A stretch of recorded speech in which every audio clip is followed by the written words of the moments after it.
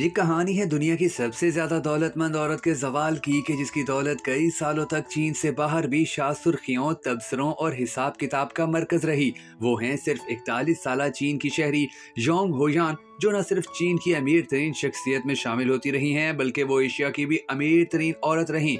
दस साल पहले, जब से उन्हें उनके वालिद की जानब से विरासत में एक रियल स्टेट एम्पायर मिली है, उनकी दौलत में मुसलसल इजाफा ही हुआ है। लेकिन सन 2022 में उनके लिए चीज़ें और हालात बदल गए। पिछले कुछ सालों के दौरान उन्हें शदीद मुआशी नुकसान और तबाही का सामना करना पड़ा है। ब्लूमबर्ग की अरबपति अफराद की फहरिस्त के मुताबिक 2021 के दौरान योंग की दौलत में मजमू तौर पर बावन फ़ीसद से ज़्यादा कमी हुई। उसी साल इस कारोबारी खातून की कुल दौलत का तखमीना तकरीबन तैतीस अशारिया निन्यानवे अरब डॉलर लगाया गया था, जो उसी साल के जुलाई में किए गए अंदाजे के मुताबिक कम होकर सोलह अशारिया एक अरब डॉलर रह गई थी। मुआशी माहरीन और तजिया कार इसे न सिर्फ़ चीन की रियल स्टेट मार्केट की बुरी हालत की अलामत के तौर पर देखते हैं, बल्कि दुनिया की दूसरी बड़ी मीशत के मुस्तबिल के बारे में भी एक अहम तनबी के तौर पर भी देखते हैं। तब कहा गया था कि चीन में रियल स्टेट की बुरी हालत की वजह 2020 से इस शोबे में मकानात की कीमतों में कमी, खरीदारों की मांग में कमी और कर्ज की अदायगी में सार्फिन का दिवालिया होने के बहरान के बायस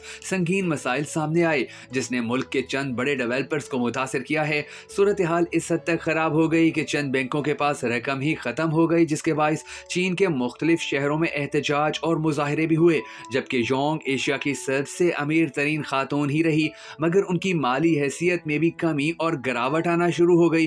ब्लूमबर्ग के मुताबिक उनके बाद केमिकल फाइबर की सनत से वाबस्ता खातून फ़ैन योंग वे का नंबर आता है, जिनके असासे भी तकरीबन 16 बिलियन डॉलर रहे हैं। मगर योंग जोयान कौन है और इनका शुमार दुनिया के अमीर तरीन अफराद में कैसे हुआ? इन सवालों का जवाब इंतहाई दिलचस्प है। योंग दरअसल उन्नीस सौ इक्यासी में जनूबी चीन के सूबे गवांगजो के शहर फोशान के एक जिला शोंग टाक में पैदा हुई। वो चीन के अमीर तरीन अफराद में से एक यांग गो यांग की बेटी हैं। चीन के बाद असर खानदान में परवरिश हासिल करने वाली जांग ने आला तालीम हासिल की और अपनी जवानी में वो अमरीका भी जेर तालीम रही।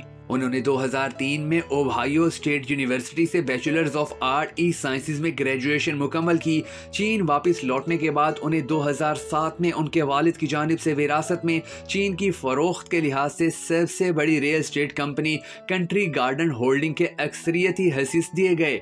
गवांगजो में उन्नीस में कायम की गई real estate company Country Garden Holdings Hong Kong में अपने आई पी ओ के बाद कामयाब हुई और वहाँ उसने तकरीबन एक अशारिया छः बिलियन डॉलर इकट्ठे किए, जो कि गूगल के 2004 के अमरीकी आईपीओ के बाद के बराबर हैं। अगर चा जोंग को आवाम की नज़रों से दूर रहने और सादा ज़िंदगी गुजारने के लिए जाना जाता है, मगर वो चीन में और बैरून दुनिया की बेशुमार शाह सुर्खियों का मरकज हैं।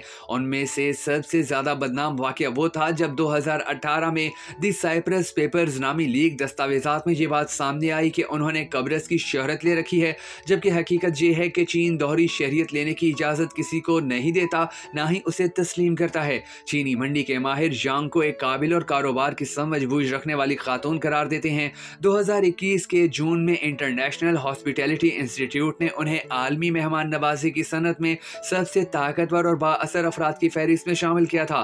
ताहम उस वक्त तक उनके कारोबार में कमज़ोरी के आसार दिखाई देने लगे थे। और ऐसा इसलिए था क्योंकि 2020 से ही मुल्क की रियल स्टेट मार्केट में ज़्यादा पेचीदगियाँ शुरू हो गई थी और इसकी वजह सिर्फ़ कोरोना वबा नहीं थी बल्कि इसकी वजह चीनी हुकाम की जानब से रियल स्टेट के शोबे में ज़रूरत से ज़्यादा कर्जों को रोकने की कोशिश करना थी। चीनी हुकाम के इस इकदाम से मुल्क की बड़ी तमीराती कंपनियों को अदायगियों के लिए एक जंग का सामना करना पड़ा और उन्हें अपने कर्ज दहिंदगान के साथ दोबारा मुजाकर करने पर मजबूर कर दिया गया। ये बहरान उस वक्त मजीद बढ़ गया जब चीन की सबसे ज़्यादा मकरूज real estate company Evergrande दो हज़ार इक्कीस में महीनों के माली मसाइल के बाद दिवालिया हो गई।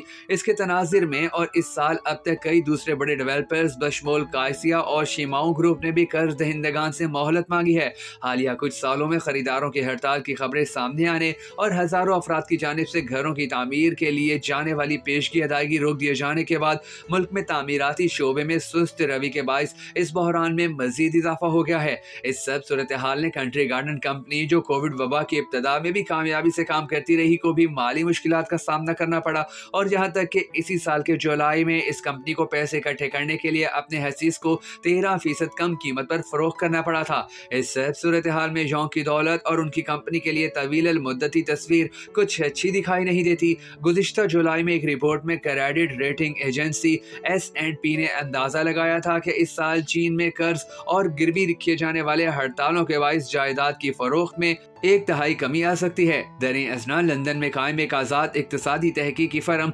कैपिटल इकनॉमिक्स ने पेश गोई की है कि फ़रोख के बगैर मजीद बहुत से डेवलपर्स ख़त्म हो जाएँगे, जो चीन की मीशत के लिए ख़तरा है।